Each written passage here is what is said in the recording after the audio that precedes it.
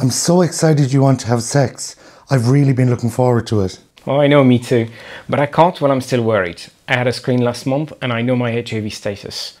I've always been really careful with anyone I've had sex with to make sure that they get tested regularly too. Are you saying that I haven't been careful?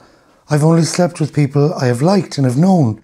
I don't have anything, I'm fine. No, I'm not saying you have anything, but I'm worried that you can't say for sure that you don't if you've never been tested. You can have HIV and other STIs and not know. It's not that simple. You're judging me.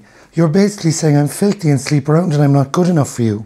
No, that is not what I'm saying at all. I'm saying I really want to be with you. I want to have sex with you, but I also want to be safe and be sure we can enjoy it.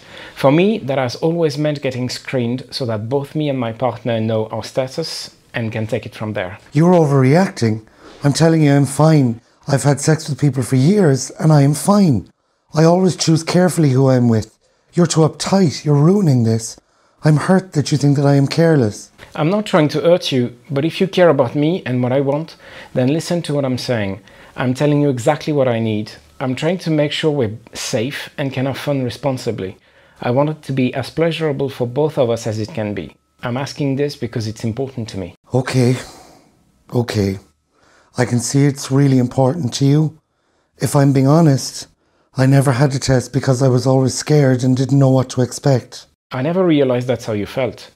I can promise you it's not scary, and I can come with you.